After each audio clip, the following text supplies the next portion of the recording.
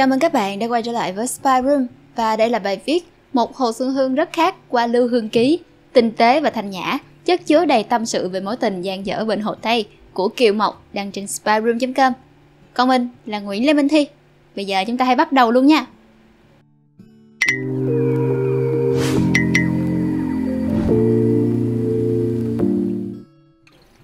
Trong bài có nhiều giai thoại, khó mà kiểm định, xác nhận cho thật chính xác. Này cứ nêu ra để ghi lại điều tồn nghi và cũng cho mọi người tham khảo. Hiếm có ai mà không biết đến Hồ Xuân Hương, nhất là khi bà có hai bài xuất hiện trong chương trình ngữ văn phổ thông.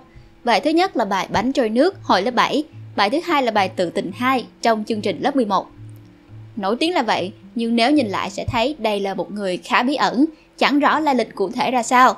Trong sách giáo khoa thì cũng ghi vài dòng ngắn ngủi là bà sống cuối thế kỷ 18, đầu thế kỷ 19.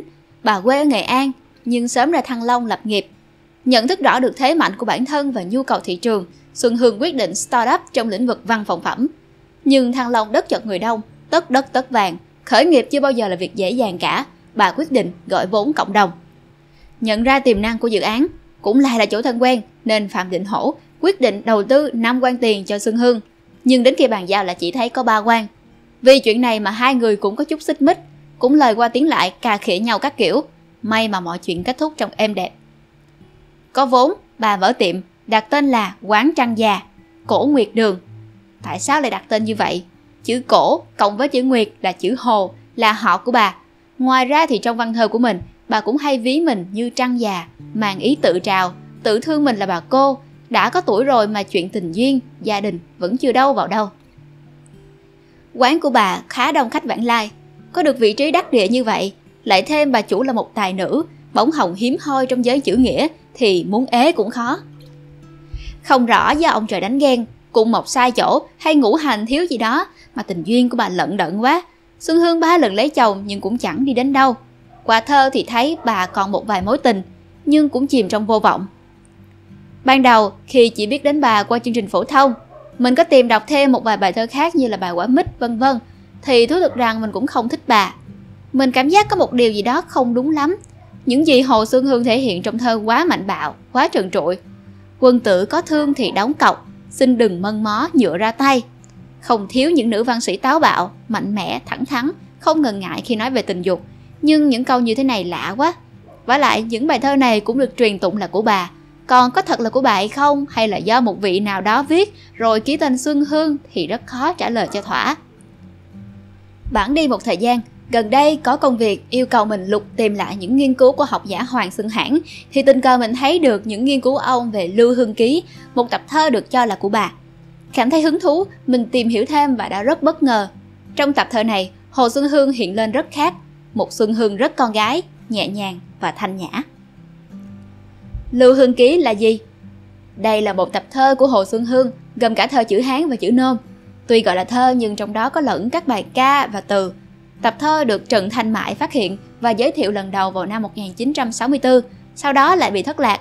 Học giả Hoàng Xuân Hãn kết hợp thông tin từ những bài thơ trong đó với những ghi chép khác và đã tìm được một vài điểm thú vị bổ khuyết thêm cho tiểu sử của bà. Hồ Xuân Hương và Lưu Hương Ký Có một cách rất hay nhưng cũng không dễ để nhìn nhận về một người là đọc những gì mà họ viết. Văn để tả dạo, thơ để tỏ chí. Chúng ta đã quen thuộc với một Hồ Xuân Hương mạnh bạo trong biểu hiện, ngôn từ sử dụng rất bình dân, thanh hay thô tùy cách hiểu, không ngại dùng sự lệch chuẩn để tạo nghĩa, dùng từ không cần filter, rất trần trụi, bộc lộ một cá tính mạnh mẽ. Thơ của bà đầy sự cấm kỵ, sống động, khiêu khích. Bà như một người đang thách thức cả một xã hội, một cái hồng nhan đối chọi với cả nước non. Nhưng liệu bà chỉ có như vậy? Trong Lưu Hương Ký có một xuân hương rất khác.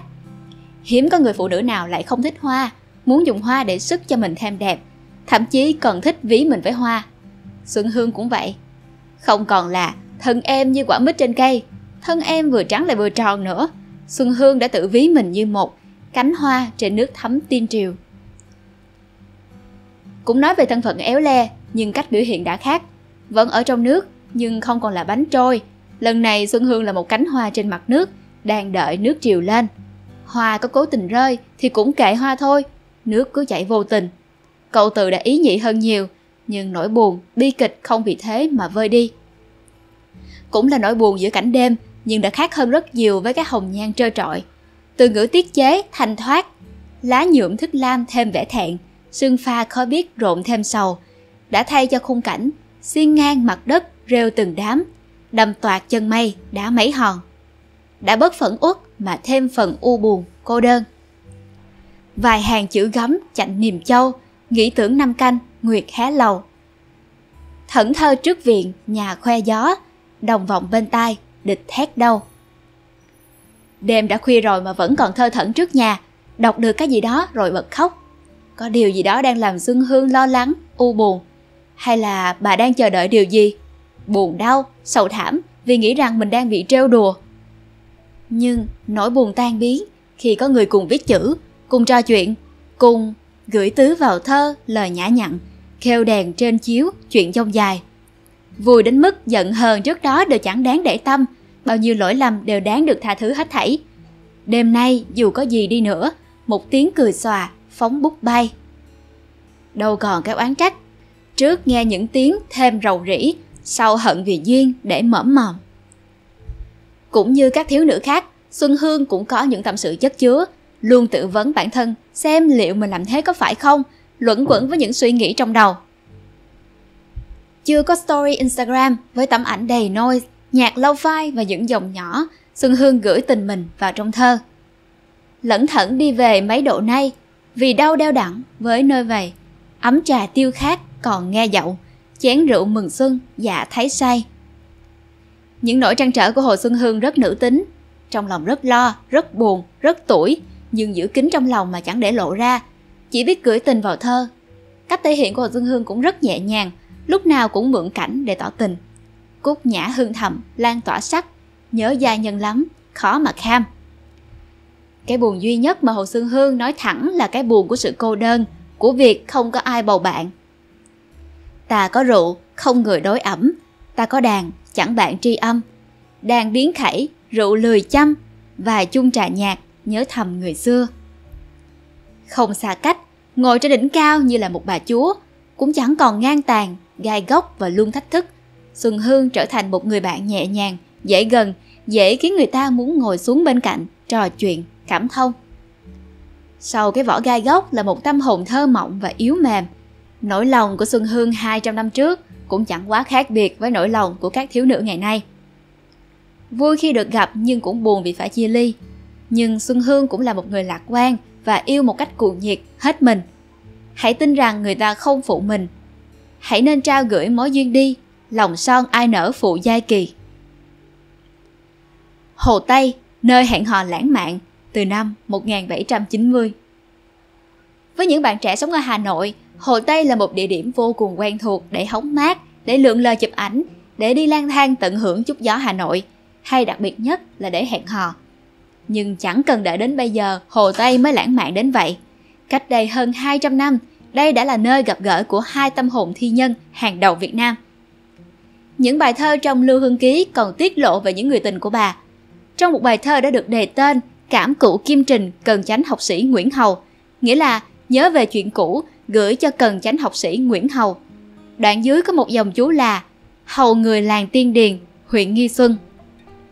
Khoan đã, Nguyễn Du cũng quê ở làng Tiên Điền, huyện Nghi Xuân, Hà Tĩnh, cũng là cần chánh điện học sĩ. Ông mang tước hầu, dù đức hầu, nên cũng có thể gọi là Nguyễn Hầu. Có quá nhiều sự trùng hợp ở đây. Lẽ nào người được tặng thơ chính là Nguyễn Du, tác giả của truyện Kiều? Nhìn lại một chút về cuộc đời của cụ Nguyễn Du, cụ sinh năm 1765. Đến năm 1778, mẹ mất, ông chuyển ra ở với người anh là Nguyễn Khảng.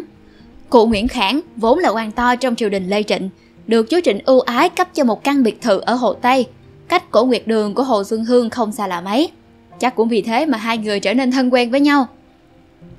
Những năm 80 của thế kỷ 18 là một thời kỳ biến động trong lịch sử dân tộc. Nguyễn Du cũng là một nạn nhân của thời đại.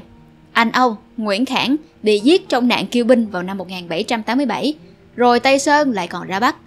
Đến khoảng năm 1788, để cho qua cơn biến loại, Nguyễn Du sách ba lô lên và đi, bắt đầu hành trình phượt hàng ngàn cây số của mình trên đất Trung Hoa. Đến tận năm 1790, ông mới trở về nước. Nguyễn Du lúc này đã trở thành một chàng trai phong sương. Có drama nào trên đời mà Du chưa từng trải qua? Bình đao loạn lạc, lại thêm những hiểu biết thu được từ hành trình trên đất Trung Hoa đã khiến ông trở nên khá nổi bật trong đám người cùng trang lứa. Hồ Xuân Hương lúc này trạc 20 tuổi, theo Hoàng Xuân Hãn, là một cô gái mới lớn đầy mơ mộng. Những câu chuyện mà chàng tài tử mới về nước sau một hành trình dài lại còn hào hoa phong nhã với một tâm hồn thi ca, chắc chắn làm Hồ Xuân Hương sao động. Mà không sao động thế nào được, những lời thơ của Nguyễn Du cho đến tận ngày nay đã khiến biết bao nhiêu tâm hồn Việt phải ngậm ngùi xúc động. Tài tử gặp gia nhân, hai người nhanh chóng trở nên thân tình. Mối quan hệ này vẫn còn phản phất trong những vần thơ của Nguyễn Du sau này. Trong thơ của mình, Nguyễn Du gọi Xuân Hương là lân nữ, cô gái láng giềng. Hai người hẹn nhau đi hái sen. Tây Hồ hái hái sen, hoa gương chất mạng thuyền, hoa tặng người mình kính, gương tặng người mình thương. Mối quan hệ giữa hai người cũng được Nguyễn Du ví với sợi tơ sen. Trong cuốn có tơ bền, vẫn vương hoài không dứt. Hai người cùng du ngoạn trên hồ Tây mùa sen nở. Bên rượu, bên đàn, hai kẻ say tình cùng nói chuyện với thơ văn. Một người sướng, rồi một người họa lại, cứ thế không dứt. Bên cạnh Tây Hồ, Xuân Hương tin rằng hai người gặp được nhau là do duyên kỳ ngộ. Mà một khi đã là duyên số thì kiểu gì sự cũng thành, hai người sẽ bên nhau mãi mãi. Nhưng số mệnh vốn là một bà cô thích treo đùa và thích ngược lòng người. Khúc Phượng Cầu Hoàng chưa tấu xong thì hai người đã phải xa nhau. Năm 1793, Nguyễn Du trở về quê ở Tiên Điền, rồi sau đó ông phải theo anh mình là Nguyễn Đề lưu lạc khắp chốn. Nội chiến Tây Sơn và Nguyễn nổ ra, hai người không còn cơ hội tái ngộ. Hồ Xuân Hương lấy chồng, rồi Nguyễn Du cũng yên bề giả thất. Mối tình ven hồ Tây chỉ còn lại những núi tiếc, dằn vặt. Nó làm mình nhớ đến một câu thoại trong Us and Them. Chúng ta của sau này cái gì cũng có, chỉ là không có chúng ta. Chữ tình, chốc đã ba năm vẹn, giấc mộng rồi ra nửa khắc không. Xe ngựa trộm mừng duyên tấp nập, phấn son càng tuổi, phận long đông. Hồ Xuân Hương cả đời lận đận, nhưng vẫn đầy tự tin và bản lĩnh, cũng thật giống với cô nàng Phương Tiểu Hiểu. Trong truyện Kiều, cũng có một vài câu trong đó phản phất mối tình xưa cũ, ẩn hiện dưới hình ảnh sen. Những từ sen ngó đào tơ, 15 năm mới bây giờ là đây. Hay là tiếc thay chút nghĩa cũ càng, dẫu lìa ngó ý còn vương tơ lòng. Biến động của thời đại, nó tác động đến từng cá nhân, từng ngõ ngách. Mình tự hỏi rằng còn bao nhiêu cặp đôi cũng vì bị thời thế xô đẩy, khiến sợi tơ sen đứt lìa, chỉ còn lại vấn vương, núi tiếc và hoài niệm, trở thành nỗi ám ảnh suốt cả một đời. Tạm kết Không còn xù xì gai góc, cũng chẳng phóng túng, thách thức mọi chuẩn mực. Hồ Xuân Hương trong Lưu Hương Ký hiện lên rất khác. Một Xuân Hương dễ gần, mơ mộng, ý nhị, nhẹ nhàng và thanh nhã hơn. Nhưng Xuân Hương thì vẫn là Xuân Hương thôi, vẫn là một con người cảm thông thương xót với cái éo le, thiệt thòi của người phụ nữ, vẫn là một tiếng nói của phụ nữ, bền vực phụ nữ, là khát vọng được hạnh phúc. Cái khác biệt chỉ là cách biểu hiện. Và Xuân Hương này đã thực sự chinh phục mình. Mình nhận ra rằng sâu thẳm trong bà là một người con gái sợ cô đơn, luôn khao khát tình yêu, muốn mình được quan tâm che chở. Nếu thơ nôm của bà là cái vỏ gai góc, cương kiện khiến người ta e dè, nể phục, tôn bà lên làm thủ lĩnh, thì tập Lưu Hương Ký lại khơi dậy được lòng đồng cảm. Xuân Hương không còn xa cách nữa, mà rất gần gũi, như những cô gái ở quanh ta thôi. Bà đâu có muốn mạnh mẽ, bà buộc phải mạnh mẽ để đối mặt với cô đơn. Hy vọng là các bạn thích video lần này. Đừng quên like, share và subscribe ủng hộ chúng mình. Và nếu như các bạn thích những nội dung như trên, hãy đăng nhập vào spyroom.com để tìm đọc thêm nha. Xin chào và hẹn gặp lại. Mình là Nguyễn Lê Minh Thi.